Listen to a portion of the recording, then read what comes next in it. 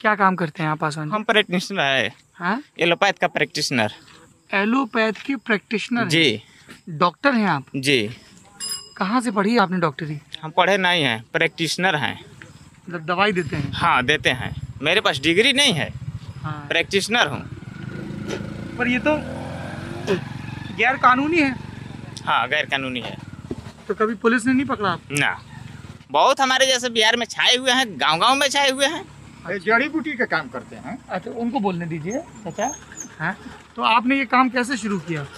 मैंने किसी डॉक्टर के यहाँ जाकर सीखा और हाँ। सीखने के बाद में काम शुरू कर दिया।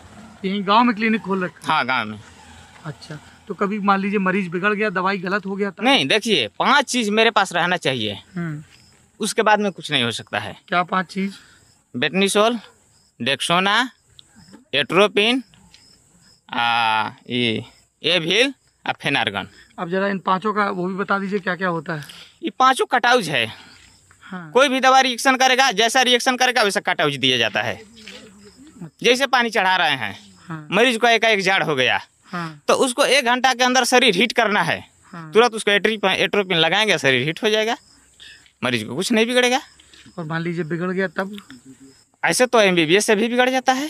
हाँ। उसका तो मैंने कोई लेकिन ऐसे बताइए अगर सब लोग गाँव गाँव ऐसे डॉक्टरी करने लगेगा बिना पढ़े तो हम्म, दिक्कत नहीं हो जाएगा फिर? नहीं बिना इसके लिए सब लोग अखबार में जैसे लिखते हैं झोला छाप हम्म, डॉक्टर। हाँ झोला छाप।